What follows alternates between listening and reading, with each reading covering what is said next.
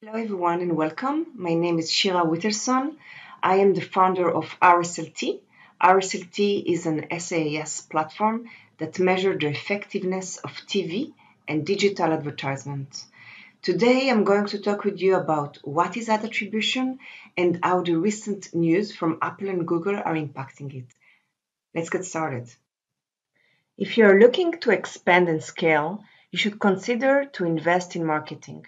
There are multitude of options to invest your budget, such as TV, radio, social media, but also on which day you should invest and what would be the best time of day for each one of these marketing channels. The question is which specific TV and digital advertising drove your desired outcome? A common approach to measuring advertising effectiveness is called attribution.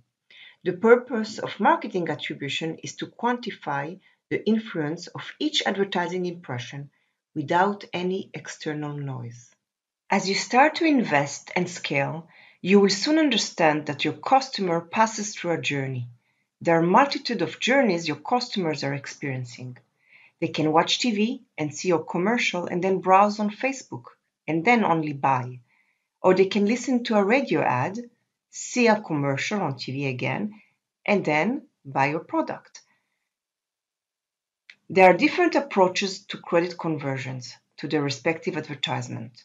A common approach is called last click. In our example, paid search gets all the credit. With the first click approach, the first touchpoint gets all the credit. Multi-touch attribution, also called MTA, is commonly referred to as the holy grail in advertising measurements. In MTA, there are two main approaches for attribution. The first one, the rule-based approach, divides the credit for the purchase across various touchpoints. The credit is assigned with predetermined weights, such as giving the same weight to each touchpoint. This approach is somehow easier to implement but can lack accuracy. The second approach to MTA is algorithmic, which leverage machine learning in order to attribute and not force a credit on all touchpoints, only to the channel that truly deserve that credit. This approach is more accurate than the rule-based approach, but also more sophisticated and requires statistical knowledge to implement it. So by now you're probably wondering how the data is collected in order to attribute in the first place. Here also there are two different ways. The first way is deterministic matching, which leverages online trackers. In simple words, data is collected through uninformed consent and until recently was highly accurate. I will get into that a bit more uh, soon. The second approach is again through machine learning. While the accuracy level can be very high, it demands deep statistical knowledge and a highly experienced professional in order to achieve it. So, what you need to know is that most attribution providers' approach to matching is deterministic. So, what are online trackers anyway? Online trackers are unique device identifier that can be linked to your personal information. Personal information can be email, address, name, etc. Those device identifiers have many names, such as third-party cookies, IDFA, GAID, etc. So what do they do? In fact, they collect data through uninformed consent. So what do the Google and Apple updates have to do with it? We now have new privacy rules that have been implemented, and let's walk through them. By 2022, Google will block third-party cookies, meaning if you're leveraging an analytics platform that utilizes this type of trackers, they will be blocked from collecting user data.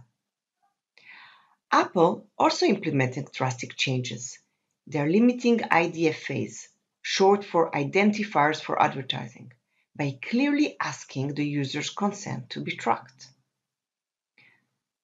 So what impact will these changes have on attribution accuracy? In fact, it's all about opt-out. We, we believe that the number of opt-out will increase drastically. advertiser will be unable to track an estimated 80% of online ads. And user level opt-in will decrease to around 15%, meaning all the identifiers that are used for attribution purpose would become unreliable. A common question that result is asked is, if I buy ads on TV, do the Google and Apple privacy changes impact me? Yes, smart TV and OTT, such as Hulu and Roku, might endure the next wave of compliance. And the reason is that OTT and connected TV leverage online trackers. The most drastic impact will be on deterministic matching. It's increasingly more complex to manage this type of identifier. As I just explained, the number of opt-out will increase drastically. So privacy reform will make it no longer accurate. So what you can do to make sure your measurement efforts will not be impacted? The best way to do it is by assessing if your attribution platform is impacted by increasing opt-out rates. There are three ways to do it. First way is to determine if your attribution vendor is leveraging this type of tracker. The privacy notice of your attribution vendor is usually the best window to check it. If the notice states the usage of, for example, IDFA, unique identifier, device identifier, you will know. The second thing that you can do is ask your attribution vendor if they partner with TV manufacturer in order to get the data. There are many TV manufacturers that allow TV attribution provider to collect this type of data.